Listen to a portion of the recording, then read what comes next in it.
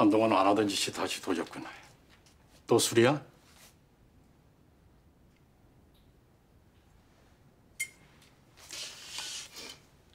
그만해.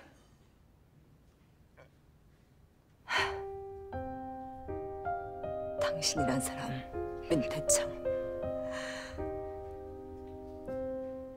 내가 당신만 안 만났으면 당신만 내 옆에 없었으면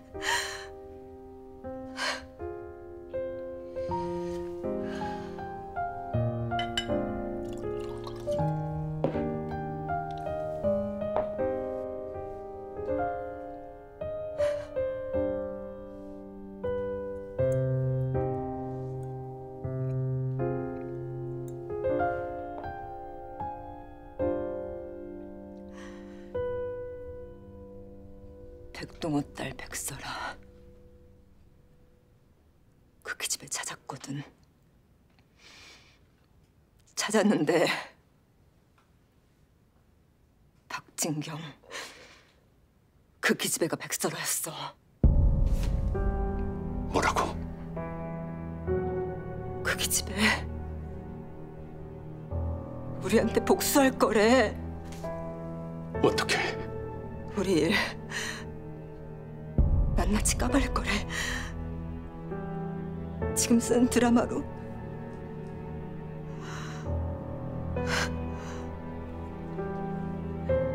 여보, 어떡하지? 걱정 마. 내가 그렇게 안 둬.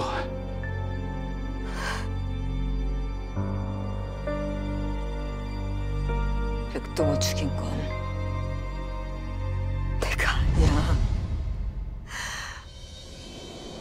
내가 방에 들어갔을 때 그 사람 이미 죽어 있었어. 당신이 당신이 죽인 거야. 지금 무슨 소리를 하는 거야? 난 함정에 빠진 것뿐이라고.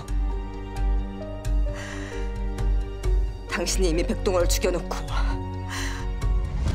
마치 내가 죽인 것처럼 그렇게 만들었잖아. 제대로 돌았구나. 어? 살인자는 내가 아니고 너야, 문경수. 네가 죽인 거야, 네가. 아니, 당신이 살인자야. 조용히 해.